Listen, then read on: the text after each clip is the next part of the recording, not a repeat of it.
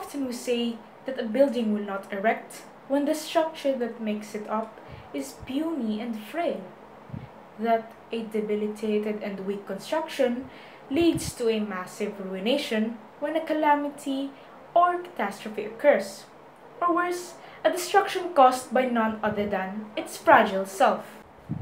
This is, of course, a very apparent circumstance in the peculiar world of politics.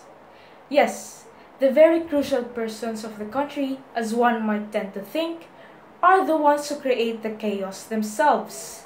Well, some might say that they do not have the intention to do that. It's just how they are. They are innate. I sort of favor that opinion in some ways. Why? Because they really are the consumed by their own greed, selfishness, pride, and ego. That they can no longer change themselves and that they are becoming blind on how they subconsciously and pathetically impact the nation that they lead. So, what do we do now?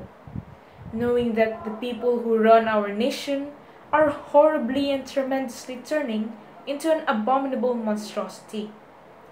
Knowing that they are no longer children whom we could still inspire and encourage. What shall we do? Our voices. The voices that we have are one of the most powerful tools that shake and galvanize the heads of the people above.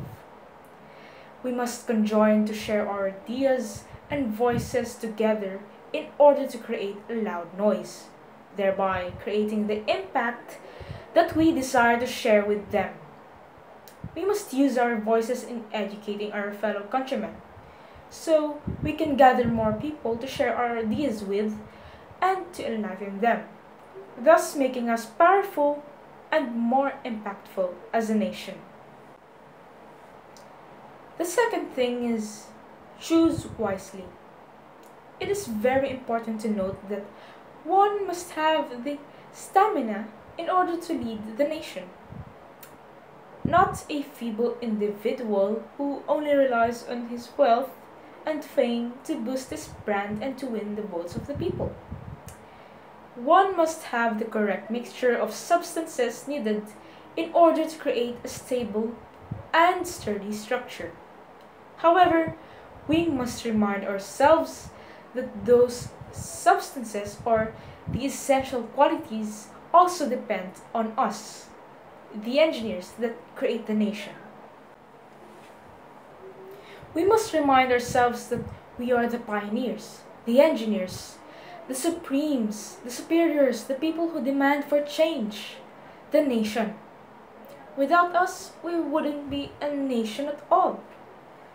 We should not let the feeble people above to overpower and belittle us. Because we are the people, the people that demand change, justice, and assurance from the government. This we do not just for ourselves, but for our fellow people, for those who are profoundly in need, for those who suffer from poverty, for the nation. We are the engineers because we have the ability to choose the right mixture that makes the structure as sturdy as possible. We are the voters. We must elect the appropriate and apt person could strengthen the system, making it fair and just. We must not let the flimsies to prevail. Hence, we must acquire the idea of discerning what is right and what's not. Which leads us to the third point educate. As the people who have the right to choose a leader, we should educate ourselves and others as well. Educating oneself by means of interacting to another person who shares the same idea, or researching and further studying the idea. Gather your fellows and educate one another.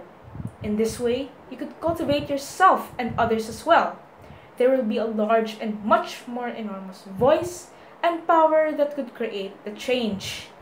And most importantly, educate the children. Teach them to discern the right from the wrong, for they are the future and the hope of the nation. They are the seeds that will soon grow. And finally, keep the flame burning. As Seneca once wrote, There has been no great wisdom without an element of madness.